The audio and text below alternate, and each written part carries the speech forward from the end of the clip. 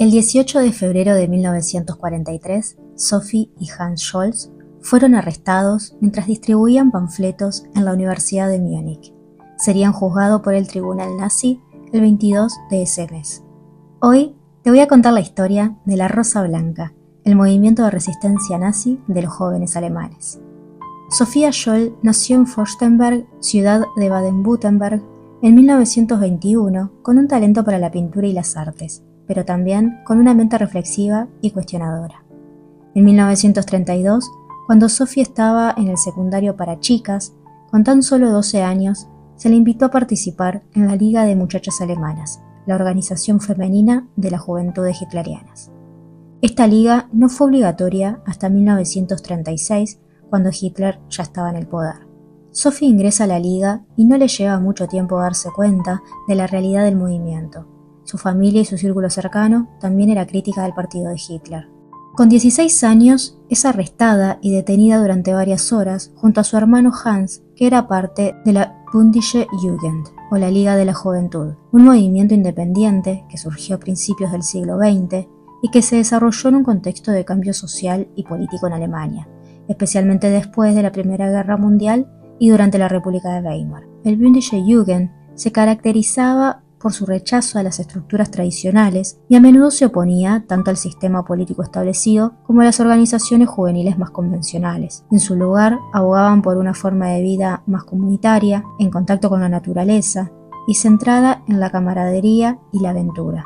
El movimiento estaba compuesto por una variedad de grupos con diferentes enfoques y filosofías, pero compartían ciertos elementos comunes, como la autonomía y la autodisciplina, así como la promoción de actividades al aire libre y la educación no convencional. Durante el régimen nazi, muchos de estos grupos fueron prohibidos o reprimidos debido a su oposición al autoritarismo del Tercer Reich y su negativa a conformarse con la ideología nazi. Sin embargo, algunos miembros del movimiento resistieron de manera activa y clandestina, participando de la resistencia contra el régimen. Después de la Segunda Guerra Mundial, en la Alemania de posguerra, el Bündische Jugend continuó promoviendo sus valores, influyendo en movimientos juveniles posteriores y en la cultura juvenil en general. Pero sigamos con Sophie. Para ingresar a la universidad se debía hacer el servicio alemán de trabajo, pero Sophie optó por un camino alternativo e hizo prácticas como educadora en un jardín de infantes y también en un sanatorio de niños. Esto lo hizo durante seis meses como parte del servicio auxiliar de la guerra en la ciudad de Blumberg. Pero estar dentro del régimen de corte militar la llevó a pensar sobre las políticas de Alemania y es acá donde comienza la resistencia pasiva. Ya en la universidad decide estudiar biología y filosofía, pero el amor y su talento en las artes la lleva a acercarse al círculo de los llamados artistas degenerados por el régimen nazi y muchos filósofos opositores. Entre ellos destaca el escritor y filósofo Theodor Hecker, que fue vigilado por la Gestapo hasta su muerte en abril del 45. Su hermano Hans estudiaba medicina en la misma universidad y también la acercó a su grupo de amigos que tenía una postura política clara contra el nazismo y con quien compartía intereses como la lectura, el arte, la teología y hacían excursiones en la naturaleza. En el verano de 1942, mientras Sophie trabajaba para una metalúrgica que suministraba la guerra, como casi todas las empresas en ese momento, su padre era llevado a prisión por un comentario que le dijo un compañero de trabajo contra Hitler.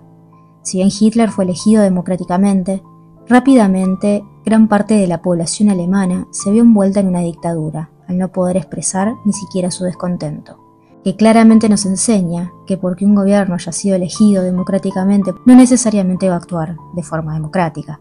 Y si vemos la campaña de Hitler, fue una campaña de polarización social, culpabilizando a minorías de la población por la situación del país, creando un enemigo claro, jugando con la vulnerabilidad y la desesperación económica de la gente. Un día empezaron a aparecer panfletos en la Universidad de Múnich que hablaban sobre la rosa blanca, y también varias pintadas en las paredes que hablan de este movimiento, un grupo opuesto a la guerra y al régimen.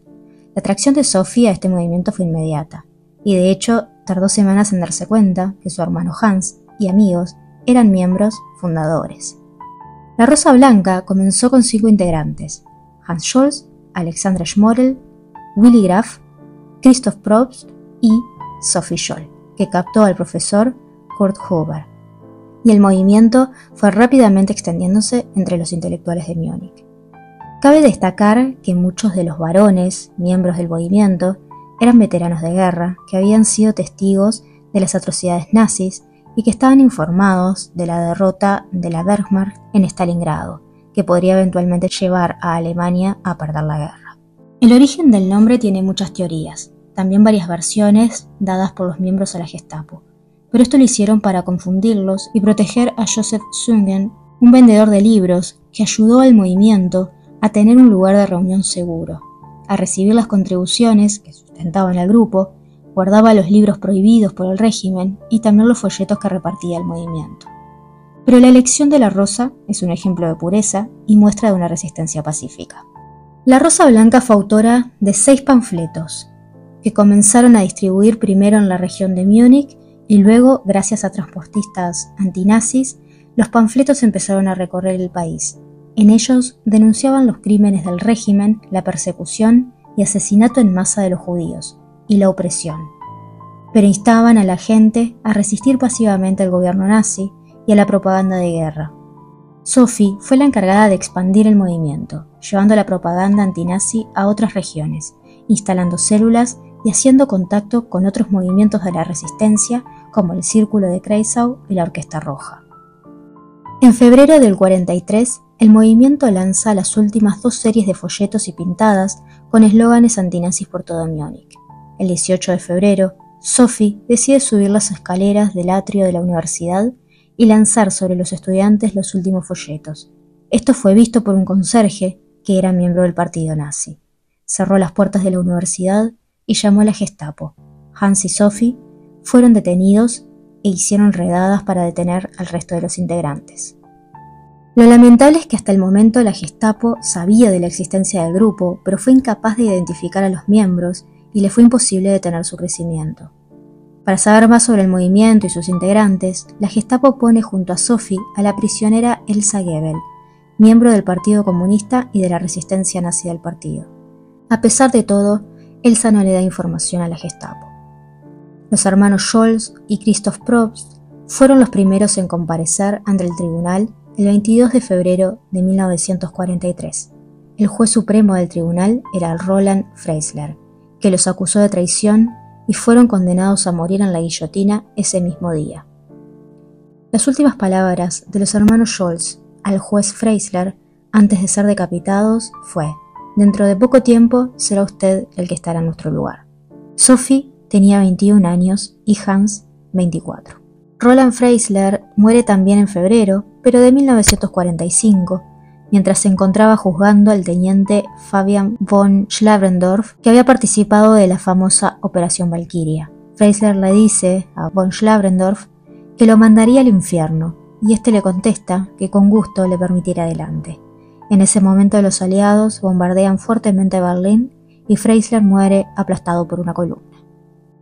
Otros miembros también fueron decapitados y otros fueron condenados a penas de prisión de entre seis meses y diez años pero colegas y allegados del movimiento continuaron con su legado, elaboraron un séptimo panfleto e hicieron crecer las células de la resistencia. En julio del 43 le llega al abogado alemán Helmut James Graf von Moltke una copia del último panfleto redactado por el movimiento. Helmut, que repudiaba el nazismo, se lo hace llegar a un diario de Londres. Los aliados lanzaron miles de estos documentos sobre Alemania desde sus aviones.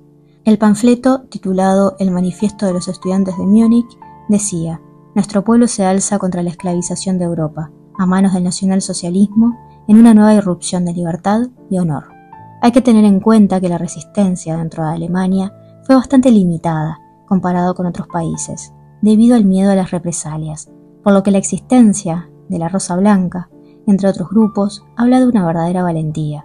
Aunque el movimiento duró poco y tuvo un final más que trágico, fueron un símbolo de resistencia frente a las injusticias del régimen y de verdadero sacrificio. Un busto de Sophie Scholl se encuentra entre los alemanes ilustres en el Valhalla, Salón de los Caídos, que se encuentra en Baviera. Si te interesa el tema de la guerra y estás de visita por Alemania, puedes visitar el Valhalla, la Universidad de Múnich, Ludwig Maximilian, el Memorial de la Rosa Blanca en Múnich y también puedes ver la película de Sophie Scholl de 2005 o La Rosa Blanca, una película de 1982. Espero que te haya gustado este video, no te olvides de suscribirte que me ayuda un montón y nos vemos el domingo que viene. Que tengas una hermosa semana.